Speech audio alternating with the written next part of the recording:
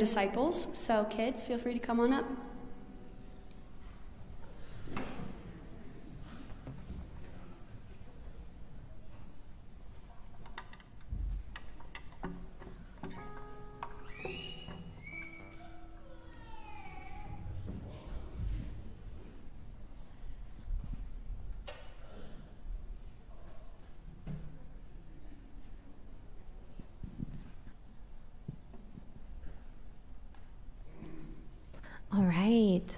Good morning, everybody. I'm really happy to be with you today. My name is Caroline Cutshall, but you might know me a little bit better as James and Sophie's mom. And I am here. Hey, Fox, come on over. Hi. I'm here today because I wanted to talk a little bit about how it can be kind of hard to believe in things that we can't see with our eyes or touch with our hands, right? Can be kind of hard. I don't know about you, but some of my favorite things are the things that I can see and touch and even taste, like ice cream and popcorn and gum. And my favorite teddy bear from when I was five that my grandma gave me, right? What are some of your favorite things?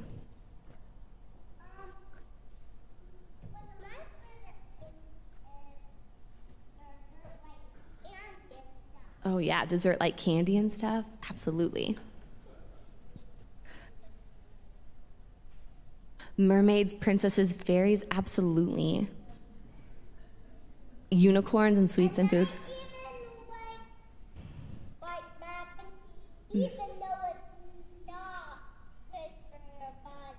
Oh, I'm with you. I love mac and cheese. I love mac and cheese. All of those things we can see with our eyes and we can touch with our hands, right? But I ask myself sometimes, what about the things that we can't see with our eyes and touch with our hands? Can we still believe in those things? Like, like the wind, right? You can't see the wind or grab it with your fingers, but you can, you, you can still believe in it, right? It can blow into your face and get caught in, you know, can mess up your hair and your hair can get stuck in your chapstick and your eyeballs, right? You can believe in the wind then. Mm-hmm. That's true. And there are things like love and creativity, right? You can't see love or touch love with your hands, but you can still believe in love. Or when it's nighttime and it's dark, you can't see the sun, but you still believe that it's there, that the next morning the sun's going to rise and bring us new light, right? I think it's the same with God. Yeah.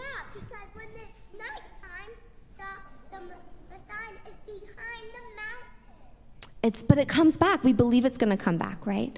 And there was a group of people a long, long time ago called the Israelites, and God loved the Israelites. Mm-hmm. We'll talk about that soon, Fox. But this group of people called the Israelites, God loved them, and the Israelites struggled with believing in a God they couldn't see or touch. A lot of other groups of people tried to make statues or idols out of gods, but the Israelites knew that they couldn't do that. And so, what did they do to feel close to God? Do you know? They breathed. They breathed in air. Their word for God was Yahweh because they thought that the word Yahweh sounded like a breath. Yahweh. And so, whenever they breathed, they were connected with God, who's the source of all life, right? So, we're going to do the same thing this morning. We're going to stand up and we're going to put one hand on our heart and one hand on our belly, and we're going to breathe. We're to breathe the air around us. Okay, ready?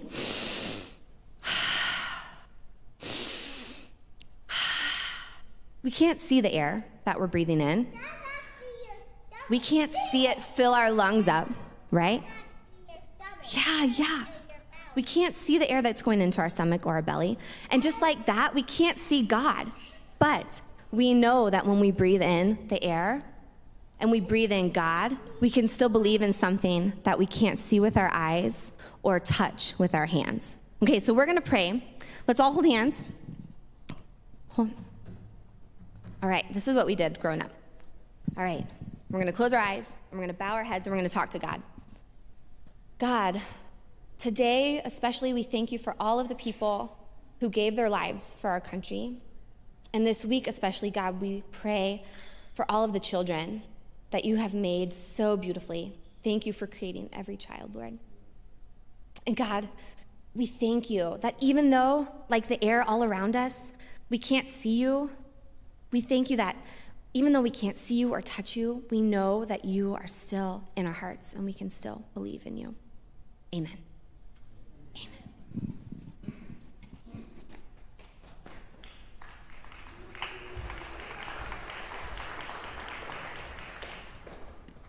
Thanks, Caroline. All right. Um, well, I'm going to read this morning's scripture for us, and then our very own Joe Cutshall is going to uh, preach for us this morning, which I'm super. Yeah, we could give him a round of applause ahead of time. Yeah.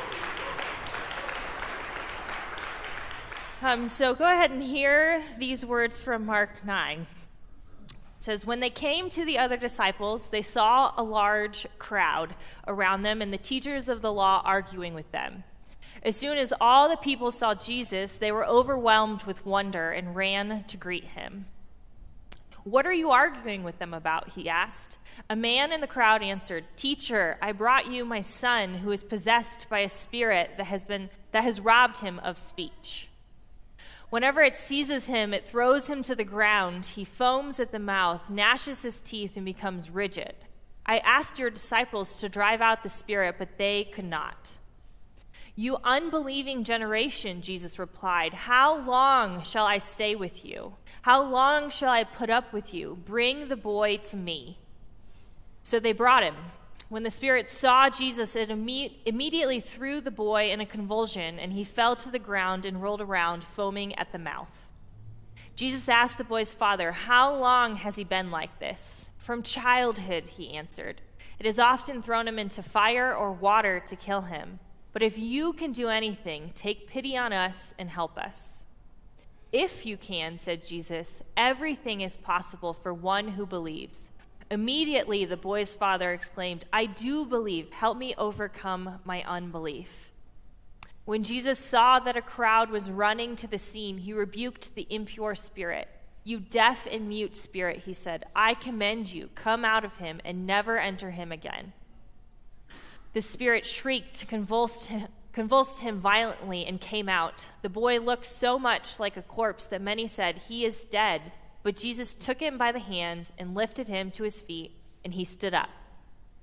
After Jesus had gone indoors, his disciples asked him privately, Why couldn't we drive it out? He replied, This kind can come out only by prayer. This is the word of the Lord. Thanks, Ash. All right. Well, good morning, friends. I, uh, I personally vote that the next children's message is given by Fox Anderson since he is so enthusiastic about it. That was awesome. Um, well, just in case I don't know you, in case I've never had the chance to meet you over the last 10 years, my name is Joe Cutshall, and I have the privilege of being the director of worship and creative arts at our church. And uh, I suppose we're still in the sandbox of worship, of trying new things, because I suppose they figured, you know, let's let the worship leader give the sermon. What's the worst that could happen, right? Um, honestly, I, I'm, I'm very honored that I get the chance to speak with you like this today. It has been a gift to serve our church in many capacities, particularly over the last couple years. And, and so I hope that this is beneficial, that this is life giving for you. It certainly has been for me.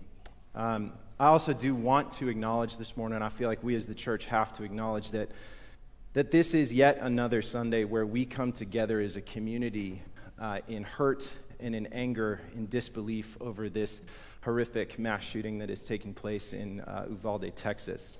And we know here in Boulder what that feels like, maybe more than, than most communities. And, and, and our souls continue to cry out with the psalmist, How long, O Lord? How long until you come and make this right? And, and friends, we're going we're gonna talk this morning about what it feels like when, when prayers go unanswered and when, when God is silent.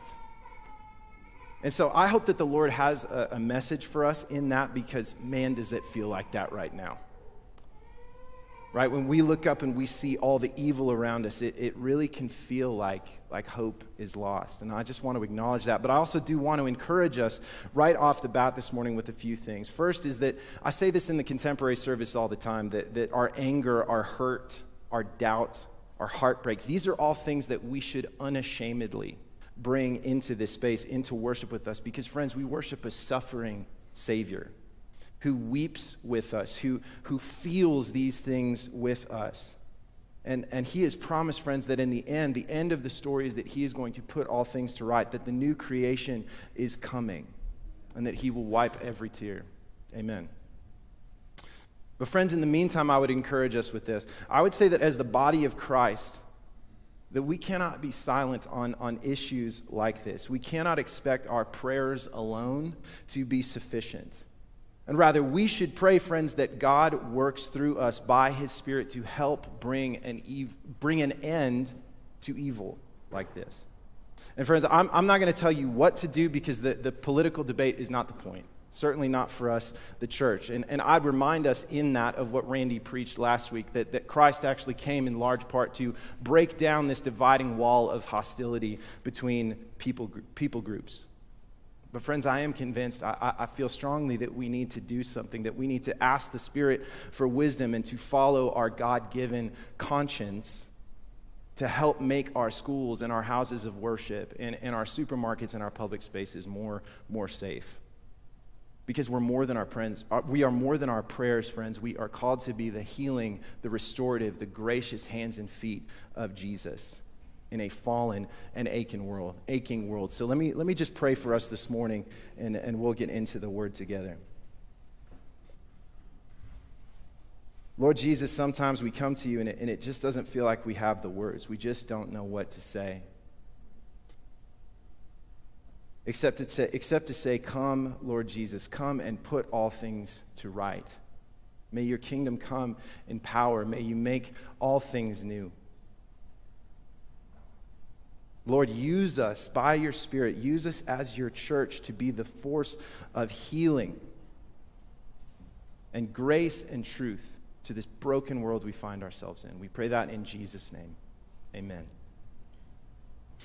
Okay, so for the past several weeks, we have been in this series, Close Encounters with Jesus. And I know that for myself, this series has been a really surprisingly significant journey for, for my own faith. I didn't know how much I needed to hear and be reminded of these, these intimate encounters that people got to have with the God of the universe while he was in flesh. And today, we're going to look at this passage that we just heard from, from Ash, where Jesus heals this, this boy possessed by an impure spirit. And, and honestly, I could not have been more excited that, that I get to preach on this passage because there's no way Randy could have known this, but, but this passage contains one of my absolute favorite lines from all of Scripture. It's the exclamation of this father when he says, Lord, I believe.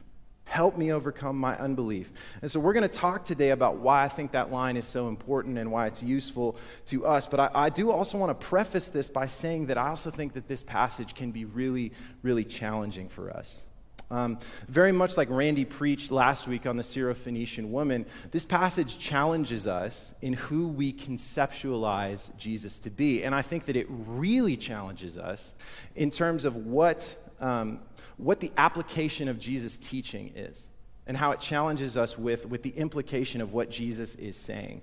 But as your resident, moody, artistic worship leader, um, I would invite you to come along with me.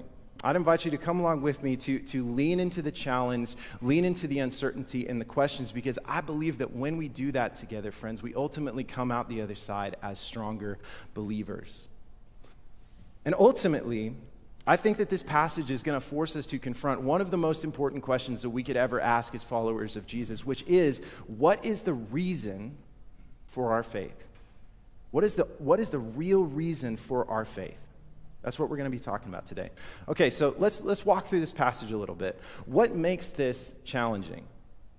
Well, the first thing for me is that in contrast to this compassionate, loving uh, picture of Jesus that we've gotten to see over the course of many of the other close encounters that we've been studying, here Jesus, like right off, right out of the gate, he takes this sort of crass, disappointed, almost overtly insulting tone towards the people in the story in the face of questions that, that honestly, at least from my human perspective, they don't seem that unreasonable, right? So right once jesus has come down the mountain from, from the transfiguration it's this mind-blowing intimate experience with, uh, with peter james and john and he arrives on scene and, and he sort of understands what's happening with the disciples and the spirit and the boy and the father and the first thing out of his mouth once he understands what's going on, is, Oh, you unbelieving generation.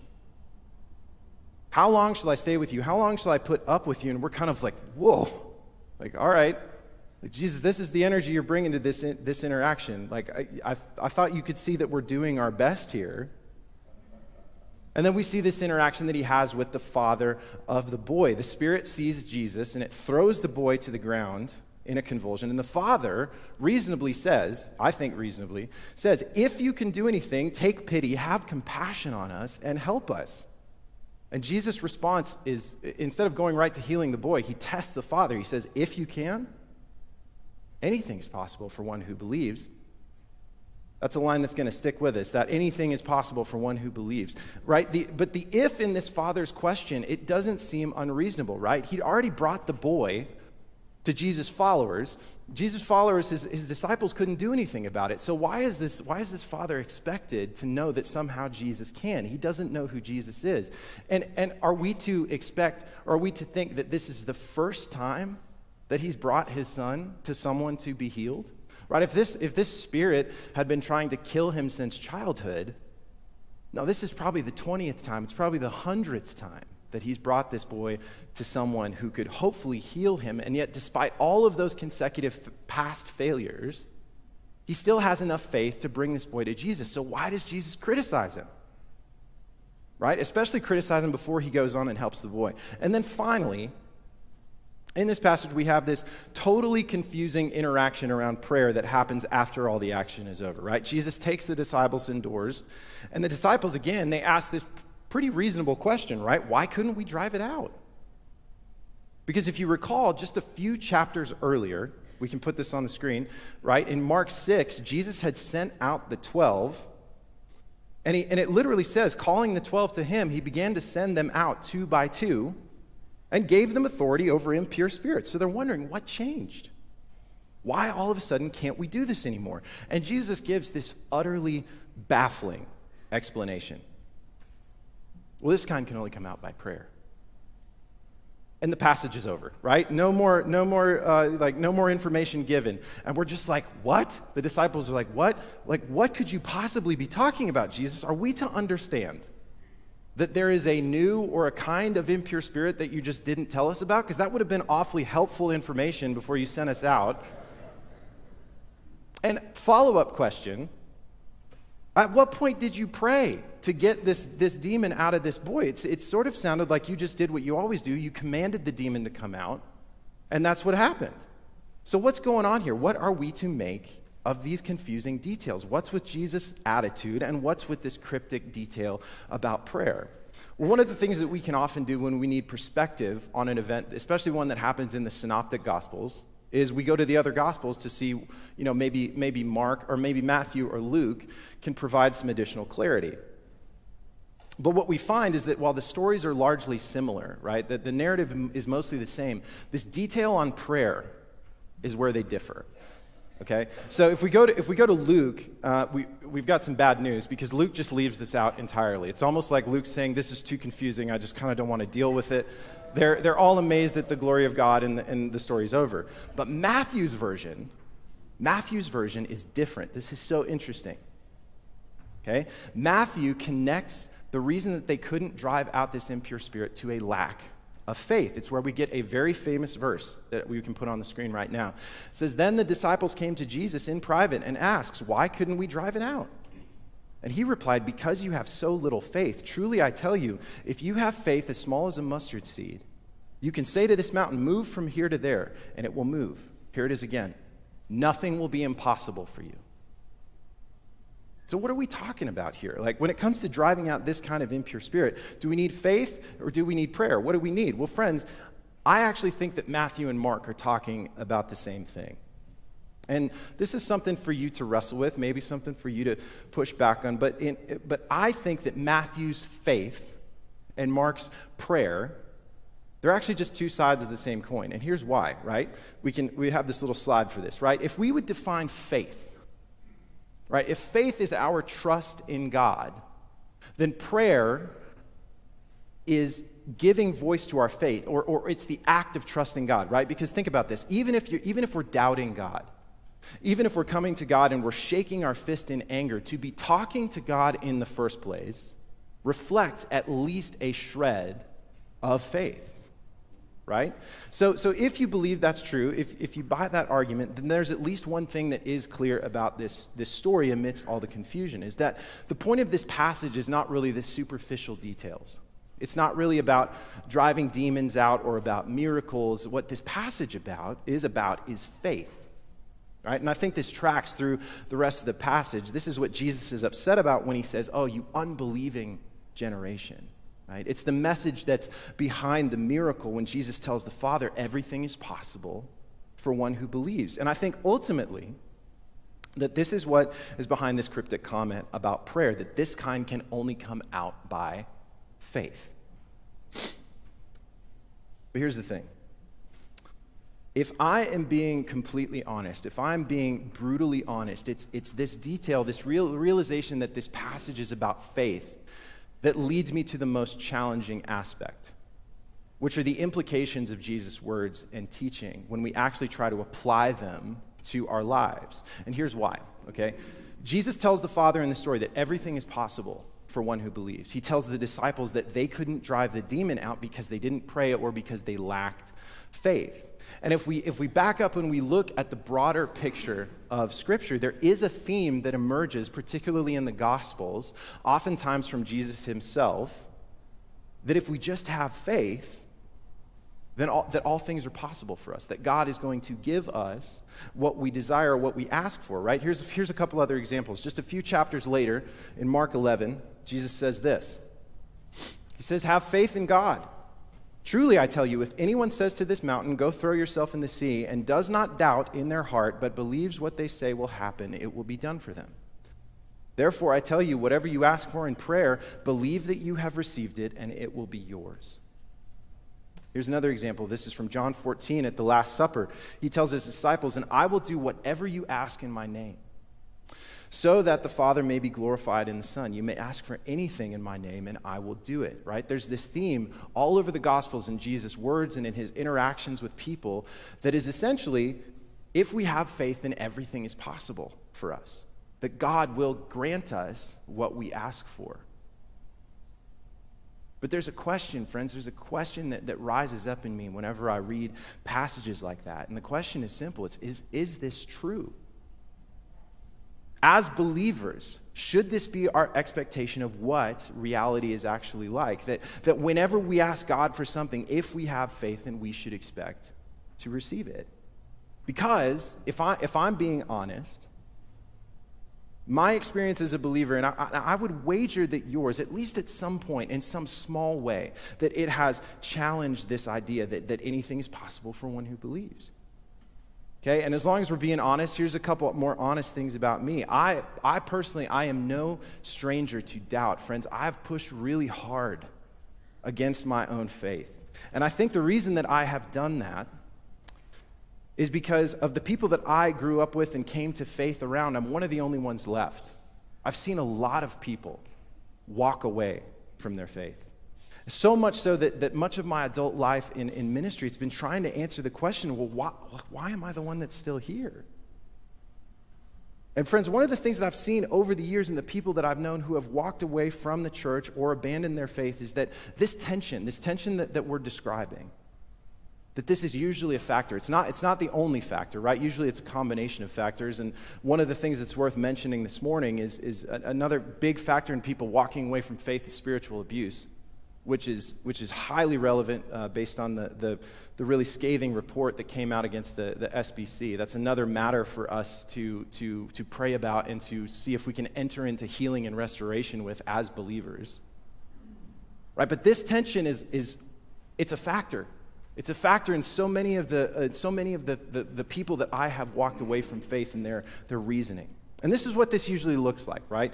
That the God that we are taught to believe in, or the God that we conceptualize from Scripture, it, it, somehow it doesn't match up with the reality that we experience in life. And so, in this case, I think this is what it looks like. We ask for something in faith, and we have this expectation because it's indicated in Scripture that we should receive it, but it seems like it doesn't happen. And it doesn't happen again and again and again. Or it, it, it doesn't happen one time. But that one time was really important.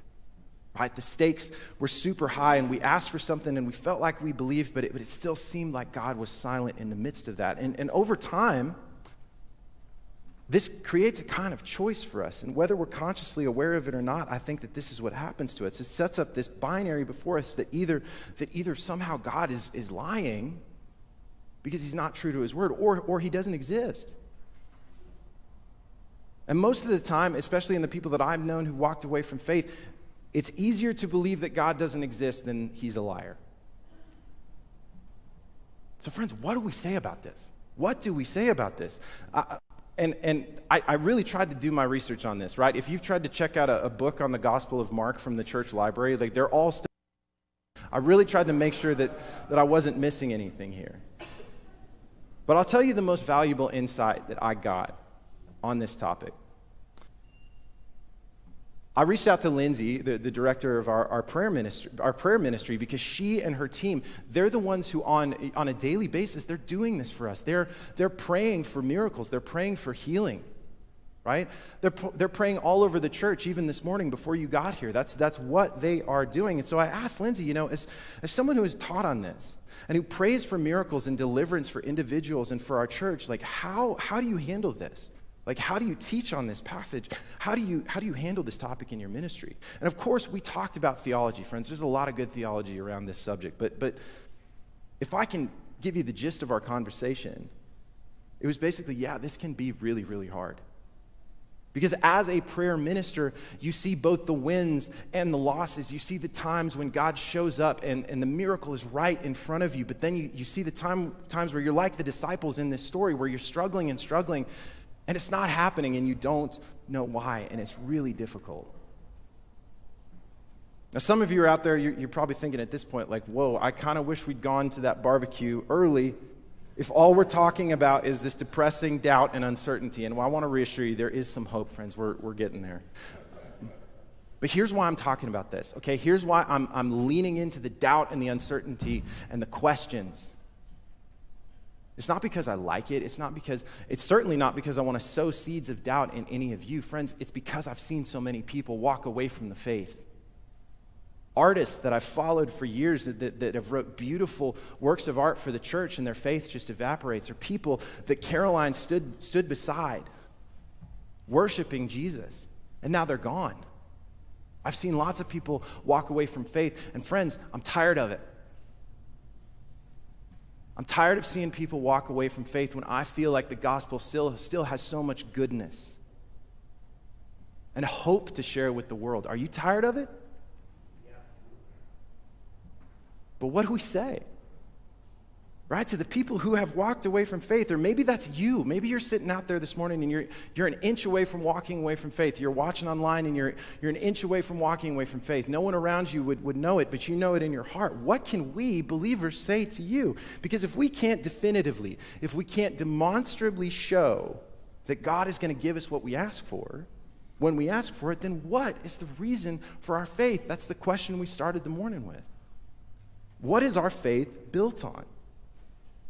And friends, as believers, I really think that we have to ask ourselves this question. We have to wrestle this question to the ground because our lives and our world are so broken. There are so many things that desperately need God's intervention and they need miracles.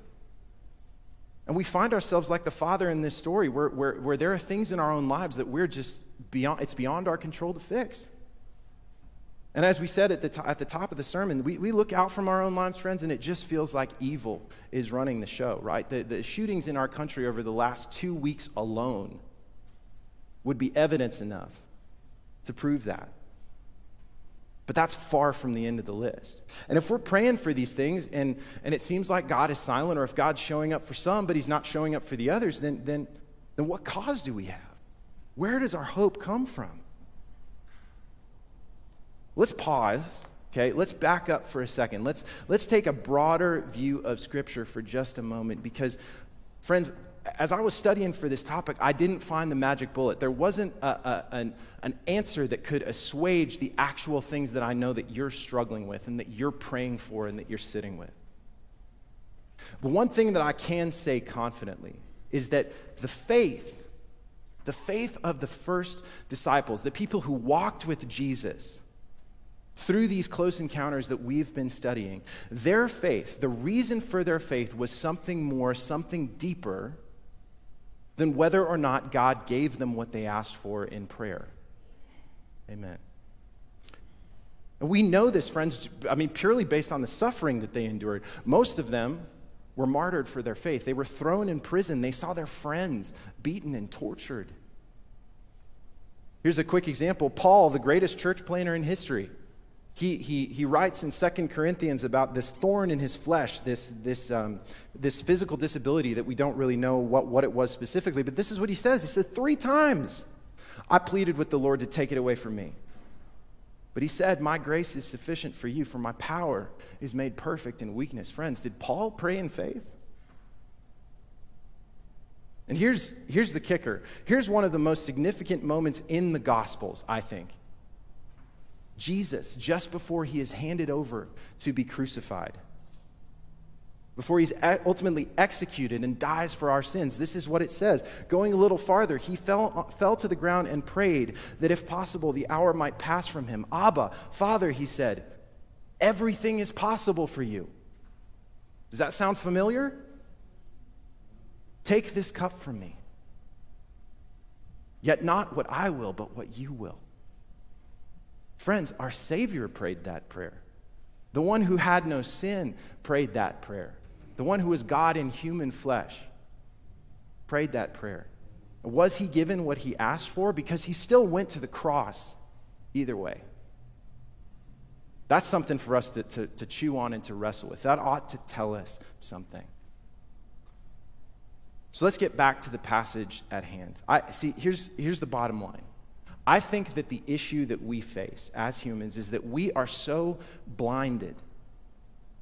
We're so blinded by the attractiveness of miracles and answered prayers that we miss what the miracles and what the answered prayers are actually for.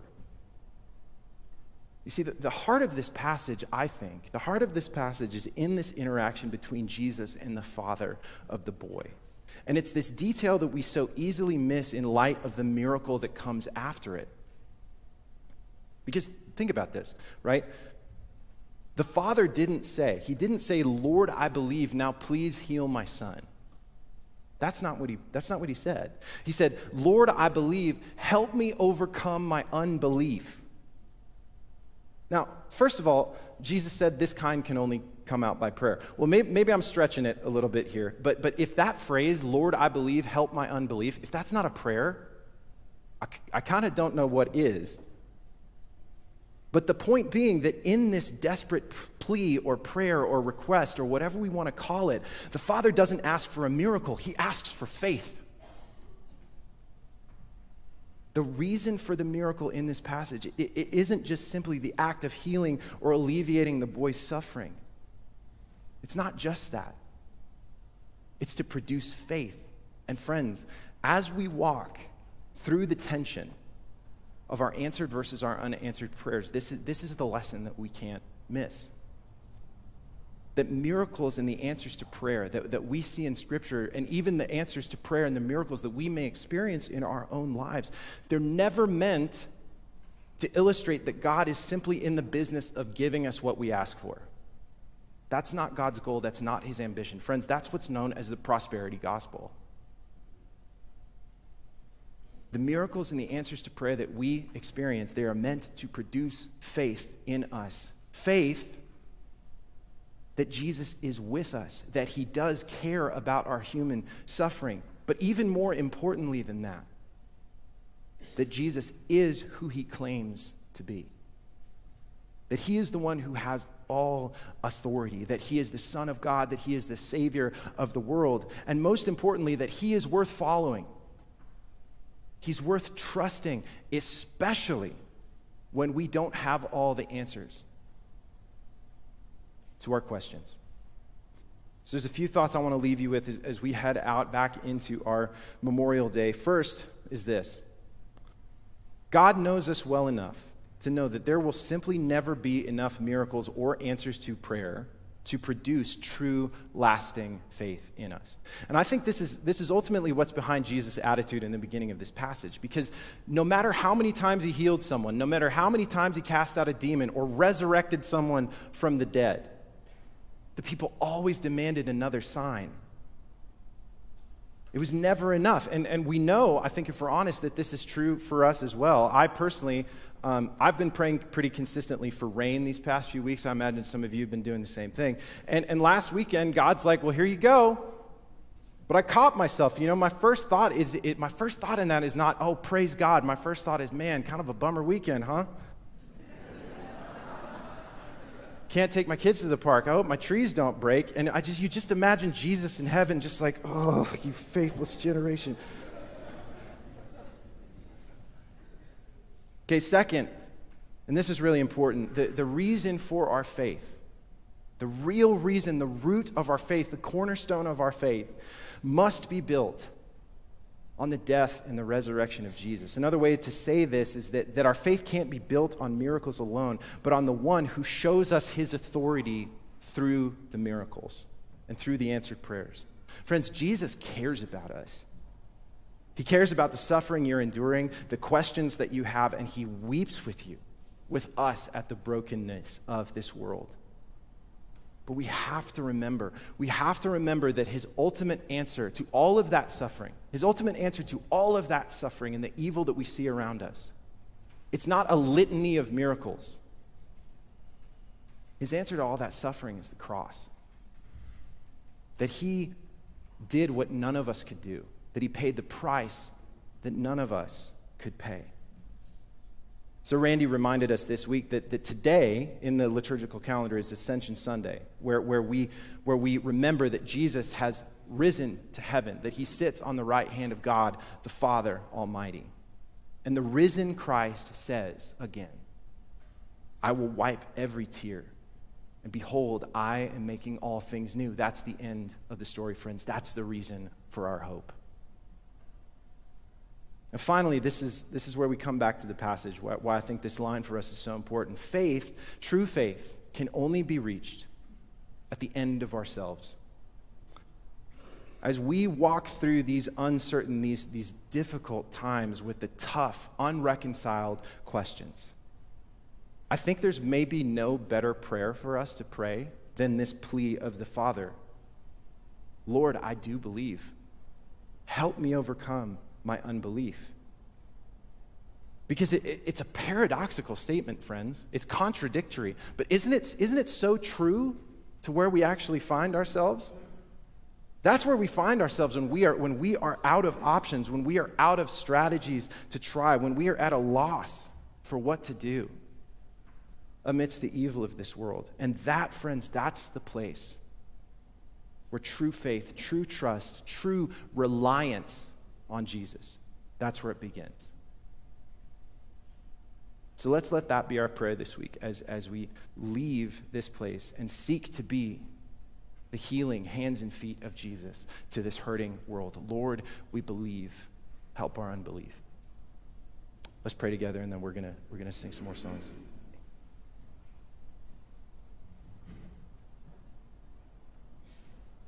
Lord, we believe. Would you help our unbelief? For, for each person in this room, I, I, pray, I pray for faith.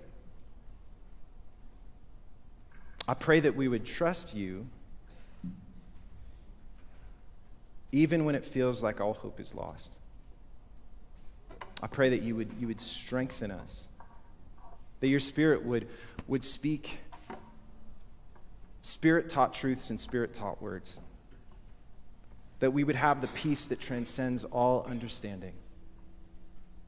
And ultimately, Father, that, that out of that, out of that conviction that we would move as your body to help heal this hurting and aching world.